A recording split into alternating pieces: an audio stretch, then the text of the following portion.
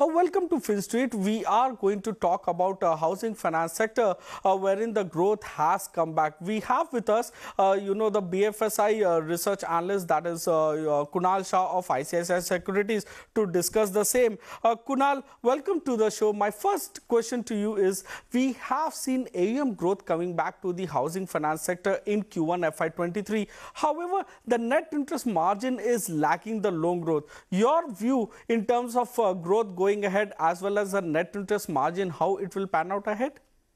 Yeah, hi Abhishek. Uh, so on growth, uh, many of the housing finance companies uh, have reported the highest quarterly disbursements in any Q1 of earlier years. Uh, and uh, there has been uh, gained momentum on a quarter-on-quarter basis.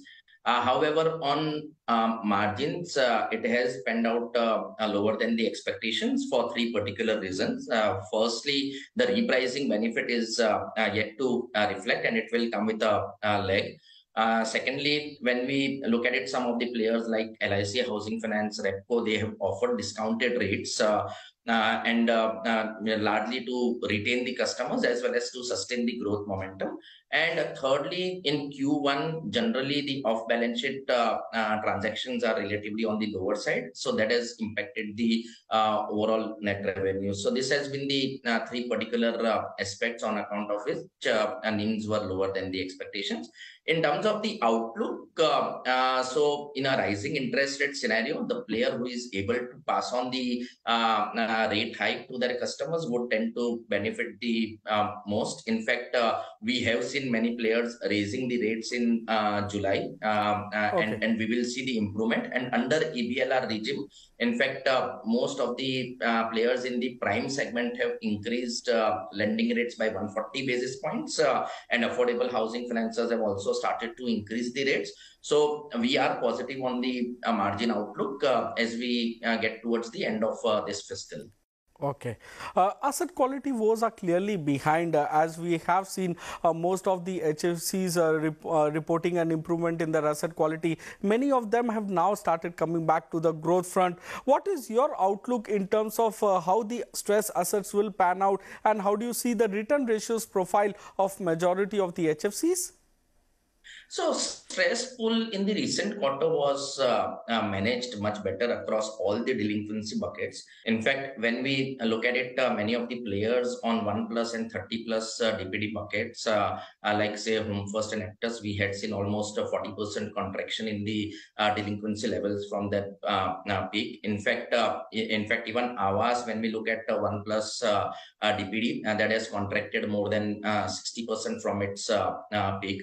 However, uh, maybe when we look at the delinquency rate, uh, print, that is still slightly away from the uh, pre-COVID average, and uh, uh, it will take a couple of quarters to normalize. so, in fact, even though there is improvement compared to what we saw peak during the last year, um, in fact, over next couple of quarters, we will see further improvement in the in the in the delinquency rates and credit cost across the board. I think um, that is that has come out much better than the uh, expected, and that has been the key reason for the overall uh, uh, earnings bit which has been there in this quarter. Kunal, you mentioned that disbursals have been strong in Q1 FY23 for majority of the HFCs. Any particular segment or any particular geography uh, which has caught your attention in terms of disbursals? So uh, disbursals, uh, particularly when we look at it, uh, there has been gained uh, traction, particularly on the self-employed side. Uh, so no doubt, uh, salaried has been holding on pretty well, but self-employed and a loan against property segment has come back over last couple of quarters. Uh, and when we uh, look at it overall, uh, say geographically, in fact, uh, uh, there is a demand which is coming in from tier two, tier three cities as well. Uh, so, in fact, there is growth in the prime segment as well as the affordable housing segment. And very interestingly, if you look at maybe the lending of banks to HFCs for the month of July, which is there in the sectoral deployment, in fact, there is month on month growth of almost 7% plus. So that clearly suggests that uh, uh, the trend for growth in HFCs is going to continue. No doubt uh, some would be the replacement of the debt market borrowing, but obviously the trend seems to be uh, better going forward as well.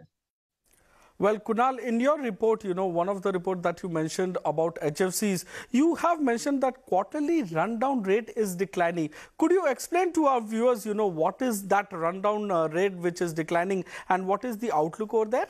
So uh, overall, uh, the rundown rate uh, uh has uh, come off, uh, particularly when we look at it, say for Repco, it was quite high at 22 odd percent on an annualized basis. It has come down to 17 odd percent. In fact, a rundown rate for Aavas is also managed at 6 odd percent. for Home First, it is 5. for Aptus and LIC, it is 4 odd percent. In fact, our interactions with many of the loan aggregators also suggest that plain vanilla take over uh, uh, purely to benefit from the rate has actually come off in the industry and uh, a significant portion of the uh, uh, balance transfer which is happening or rundown which is happening in the portfolio uh, that's particularly the enhancement uh, takeover.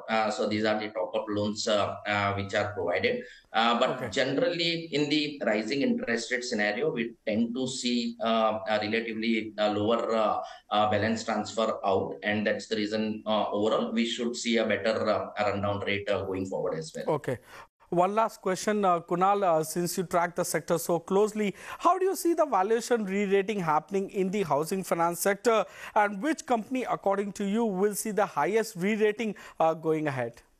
In terms of the uh, stocks in particular, uh, uh, given that uh, uh, many of the players are still available uh, quite quite at a discount to the book value, be it say Repco is almost available at 0.4 times multiple, and we have more than 100% kind of upside in Repco. Amongst the affordable housing financiers, we have more than 20% upside for uh, Aavas.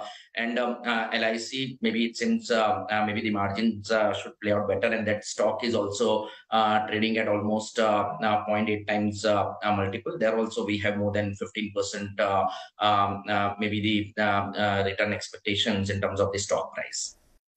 Well, that's a word coming in from Kunal uh, Shah of ICICI Securities, who remains bullish on the HFC sector. Thank you, Kunal, for joining us on this show of FinStreet. Thank you, Abhishek.